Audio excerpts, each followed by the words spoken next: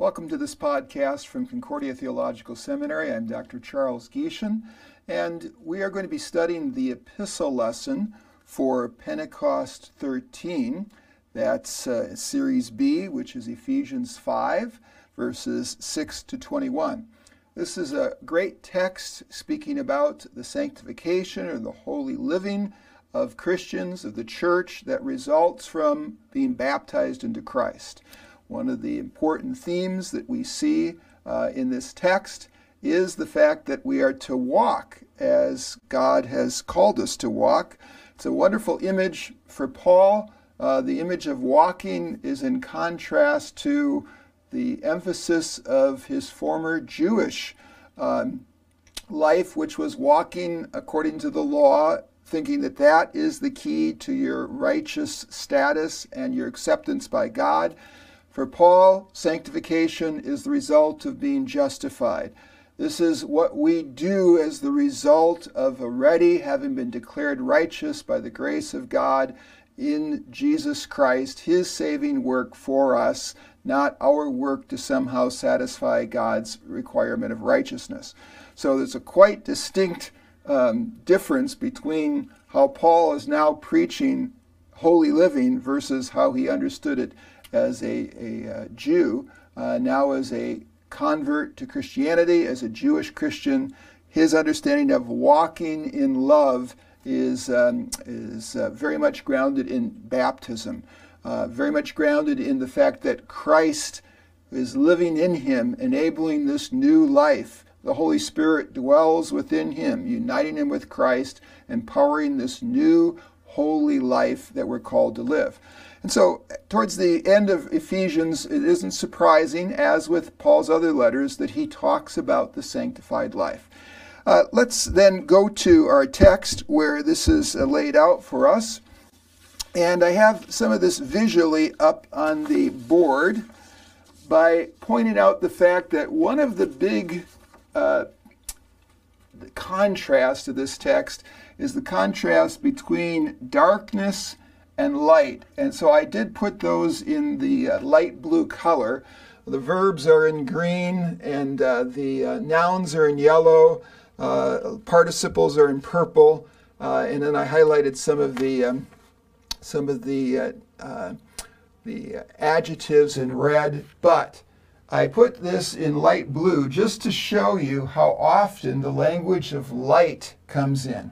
And so, and then the contrast with darkness too. Hiddenness or light. Uh, here's darkness, which goes with the understanding of hiddenness versus light. So you see that especially in the first several verses of our text, that contrast between light and darkness. And that's the difference between the life of being um, in Christ and the life of being in the darkness of our sin. I also think it reflects the fact that pagans would often do some of their cultic activities under the cover of darkness. So Paul picks up on this. You know, those that drunkenness is done under the cover of darkness. You know, it's still present in the world today. Uh, we often do some of those kinds of activities late at night in the in the cover of darkness, and certainly that's not something new to our 21st century. It's a long time practice, uh, oftentimes uh, uh, of debauchery in the, in, in the evenings and in the night. So you see that in our text, that wonderful contrast. We'll look at that as we go through. Let's start off with verse 6 here, where Paul basically, here's your imperative. You see a lot of imperatives in these final chapters of Paul's epistles. It's true of Ephesians 2 uh, here. So he says basically, let no one deceive you. Here's the no one. Here's you, but let no one here. Let allow no uh, no one to and here the verb is deceive you and with what empty words. So there's a big difference between proclaiming the gospel, teaching from the Word of God, versus human philosophy, versus the kind of uh, human uh, sometimes called wisdom, but actually is ignorance. So Paul is saying, don't be led away by these empty words. Uh, and uh, obviously, that's in contrast to the kind of words he is giving them in this epistle, which are words of life, which are words of substance, because they're reflecting the very teaching of God.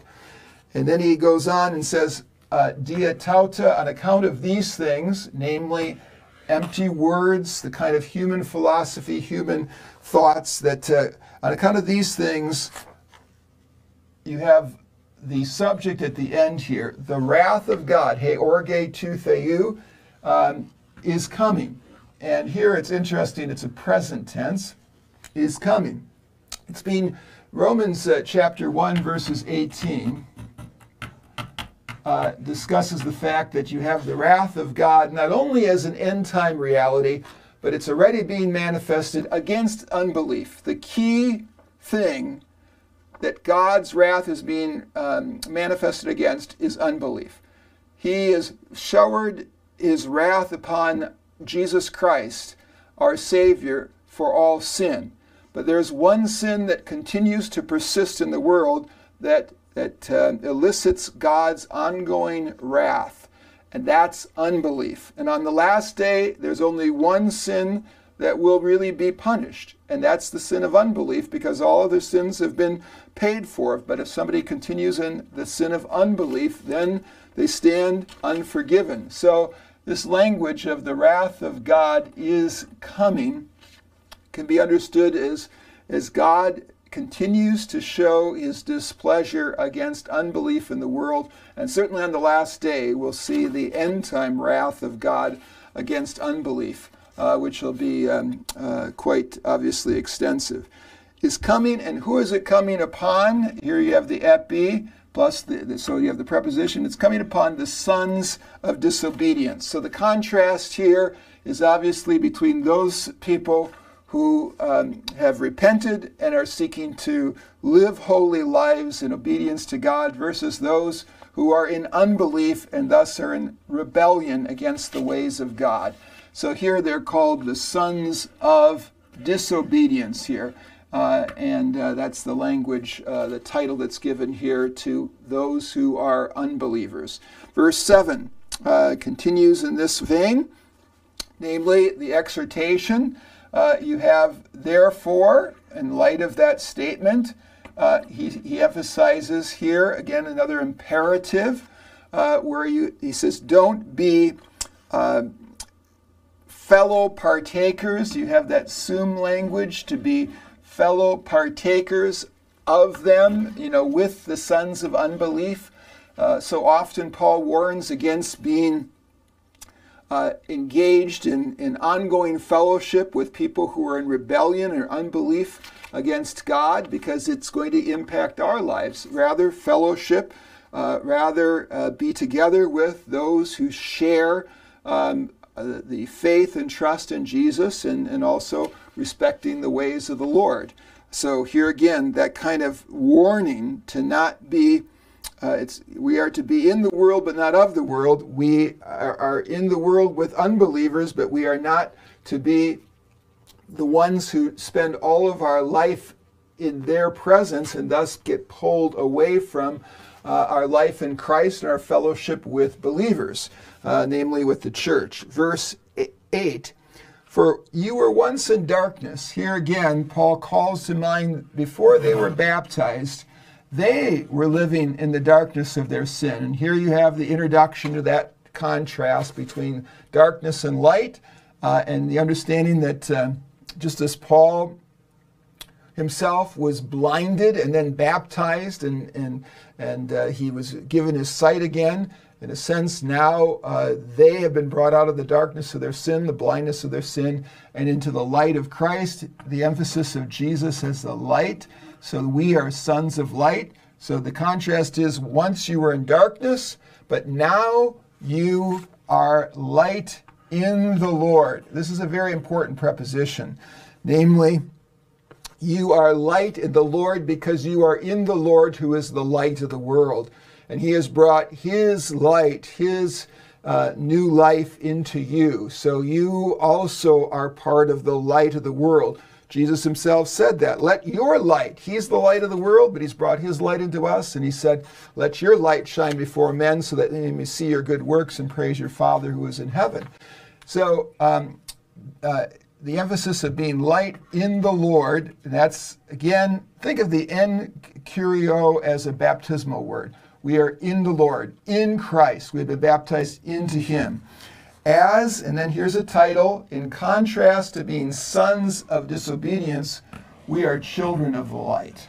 We are children of God, and thus we reflect His light in our lives. So the emphasis there, here, the verb comes walk as children of light, or as children of the light, walk. And I've already told you how important that term is uh, to transliterate the Hebrew term halak, very important term for Jews is to walk according to the Lord's ways, and Paul continues to use that as he talks about sanctification, as holy living. It's a walk. Again, a walk not motivated by having to do something to become righteous, but rather as the result of the righteousness we have in Christ already, we are to live or walk this holy life. Verse 9. So uh, you have verse uh, 9 here using the image of fruit, uh, namely, the, the contrast here, because you are to walk as children of light, he says, for the fruit of the light, fruit of light, you see that language of light again here, fruit of the light um, is um, in all goodness, here's again these adjectives, in all goodness and righteousness, there's a term we know as Lutherans very much, and truth. Why? Because the Lord in whom we are is good and he is righteous and he is true. So then um, the fruit of being in the light, in the Lord, is this kind of goodness, righteousness, and truth, all in contrast to the kind of disobedience that characterizes the son of, of disobedience. Then, verse 10, he continues on. Testing or discerning, this uh, term, dokimazo, here's the participle. Uh, I like to translate it discerning because sometimes testing has a negative connotation that we're testing the Lord. Uh, we are to be discerning uh, in light of the revelation of God, in light of the Word of God, discerning. Here you have the um, the interrogative pronoun, discerning what verb is, and then you have this um, this uh, adjective, what is pleasing to the Lord. Again, as we live out our life, uh, we are to be living it in, with goodness, with righteousness, with truth because we are discerning in light of the Word of God what is pleasing to the Lord and seeking to do that. So you see a strong emphasis here on the sanctified life. And then verse 11, uh, and do not, again, here's a negative uh, imperative. So you have may plus the imperative. So the, uh, the emphasis here of and do not be in communion with the fruitless works of darkness. This is very similar to what he said before about not um, getting together with the sons of darkness. Here we are not to be in communion with the works, um, with the the fruitless works of what? Of darkness. So not only are we not to be in communion with people, who are sons of disobedience, but we are not to have this kind of uh, communion or union with the kind of fruitless works that characterize them.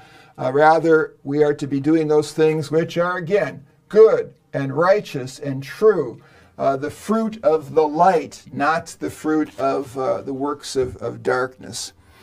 Then, ver- uh, but rather, instead of uh, being in communion with them, Rather, he says here, mallon, we are to expose them.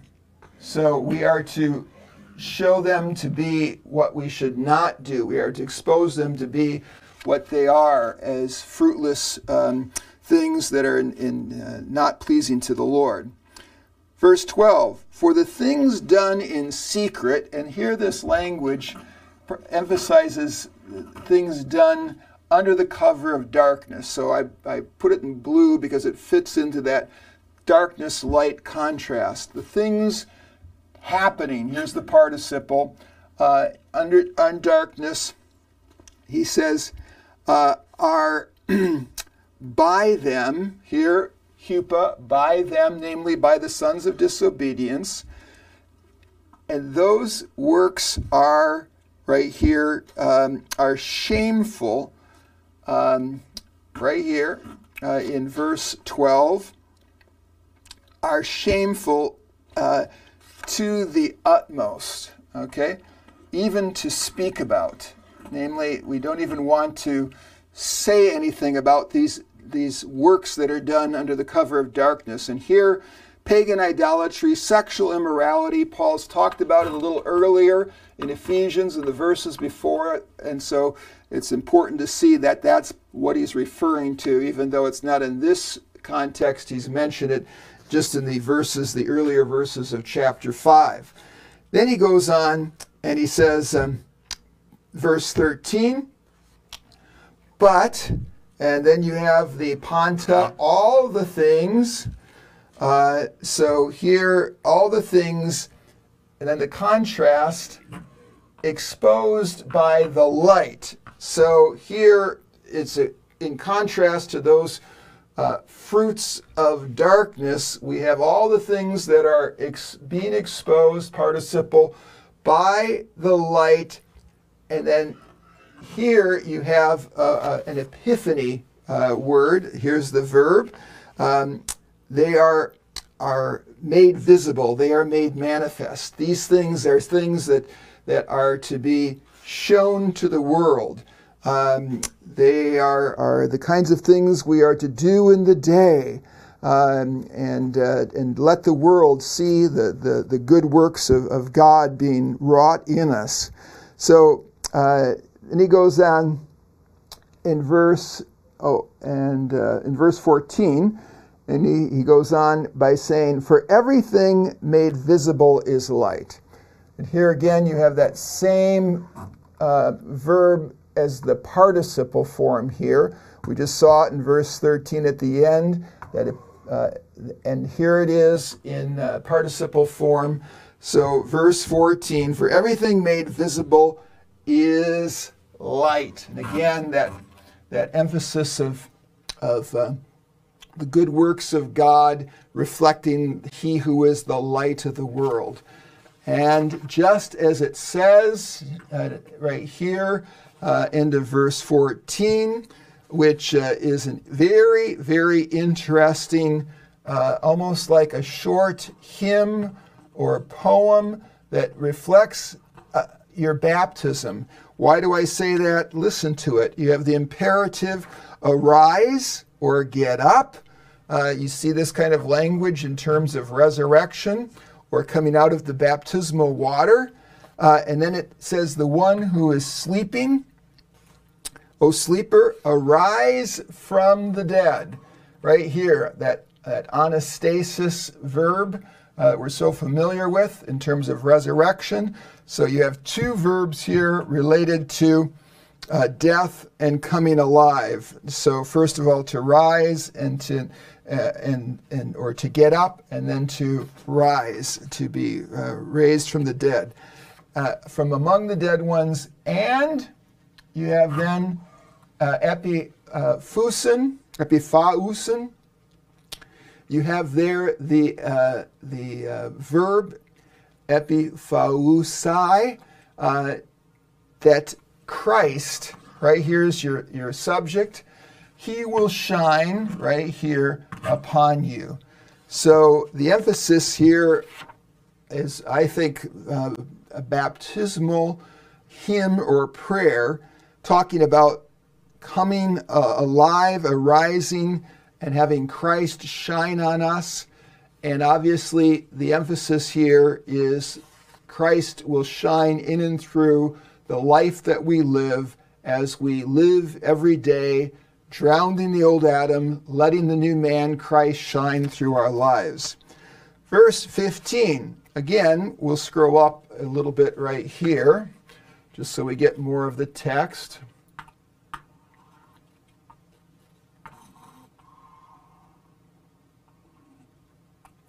So, verse 15, uh, Paul starts off, therefore, again, summarizing what he's just been saying, uh, and then the imperative, therefore, watch or look. And here, akribos is an adverb meaning accurately or carefully. You can see the, the, uh, uh, the root word akribos as the root for accurate in English. So look or watch carefully or accurately how you walk. There we see that verb again of walking. And again, uh, the Christian life is a walking in the Lord. It's a walking in, uh, it's, it's talking about our sanctified life as a daily walk in, uh, in love. And again, the contrast, not as unwise, you see the root is wise, but it has the negating alpha there, not as unwise ones, but as wise ones, uh, namely as ones who have been baptized and who are wise in the Lord, who listen to his voice and his word rather than to the, the siren calls of the world. And then verse 16, uh, redeeming, here you have this language of buying uh, the, the, language of uh, purchasing. Uh, you, you have um, this participle emphasizing redeeming the time. And kairon here, uh, the understanding of, of that now we, are, we have this divine time of grace. and we have, because we have been purchased, now this time is a time of grace, a time of mercy to, to be lived for God. So, redeeming the time uh, and uh, using the time that we have while it is light before the darkness comes and judgment comes. That's certainly a theme that we see elsewhere in Paul. And then he says, For why? Because the days are evil. The days are evil ones. Uh, and uh, our time is limited, so we should use it wisely. Verse 17, sorry, the one dropped off there, verse 17.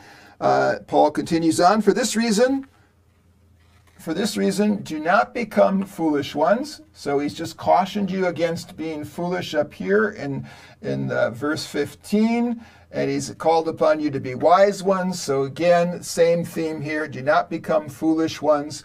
But here, the contrast.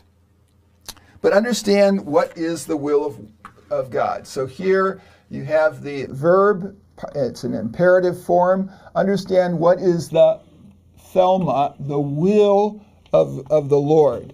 And here again, think about the will of the Lord is not something that we just think about through our minds, but it's something God has revealed in His Word. So just think about the close relationship between will of God and his revealed word. Where do we find the will of God? We find it in his revealed word. Uh, then uh, Paul goes on, verse 18. Uh, here again, encouraging sanctification, and do not become drunk with wine. Here, Paul is, you know, this Dionysus cult is one of the pagan cults, and certainly that engaged, there's debauchery that followed becoming inebriated. So Paul is certainly cautioning against that kind of activity. Do not get drunk with wine, uh, which is debauchery. Uh, namely, that leads to other things, it leads to other sin. But I think about in our culture, how many problems happen because people have, have indulged too much. Sexual sins, um, abuse of spouses, uh, killing of, of people um, through drunk driving, all sorts of things result from that. Okay, but uh, Paul says, in contrast to that, be filled up.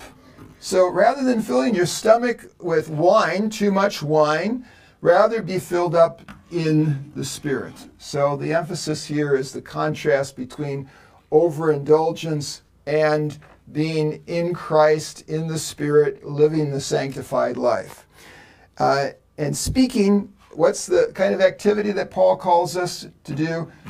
Look at the contrast. Rather than to be engaged in, in drunkenness, it's to be engaged in worship. And that's what we see in verses 19 and 20. This strong emphasis on being engaged in worship. Well, how, how is he emphasizing this? Speaking to uh, one another in psalms, so using the biblical language to, to uh, offer praise and, and lament uh, to one another and especially to God.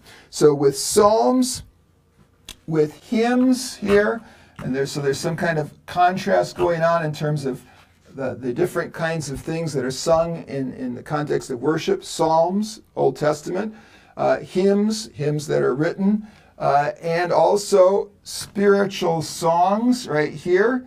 So, uh, three different categories, but I think Paul is just using all three to emphasize what's to be on our lips is a regular part of our life is this worship is, is psalms hymns spiritual songs rather than the kind of activity that characterizes the sons of, of darkness and and uh, singing and psalming. Here's the emphasis is singing and psalming. You see the relationship between these two Greek words. Here you have the participle, here we have the noun. Psalming in your heart. Uh, so this is what's to be in your your um, your uh, on your mind, in your hearts. These kinds of uh, words and these kinds of thoughts uh, to the Lord. So again, whenever you see curios, think of the fact that Paul uses that as a title for Christ. So um, you have the understanding of offering worship to Christ as the center uh, person who reveals the Holy Trinity. Verse 20, again, the worship language, giving thanks. We see the verb Eucharisto. Here's the participle form, giving thanks always on behalf of all. So, very inclusive language in the name of our Lord Jesus Christ to our God, to the God and Father.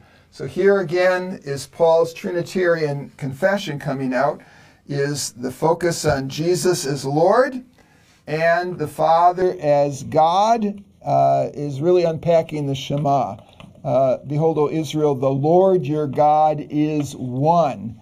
And so um, any uh, worship offered to the Son is also glorifying God who is Father.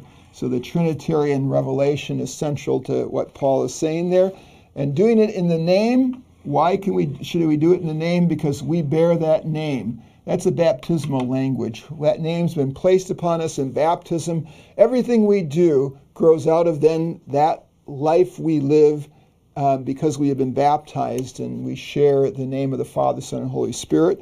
And finally, he concludes here with the uh, hupotasso uh, verb that's in the participle form here. Here's the participle.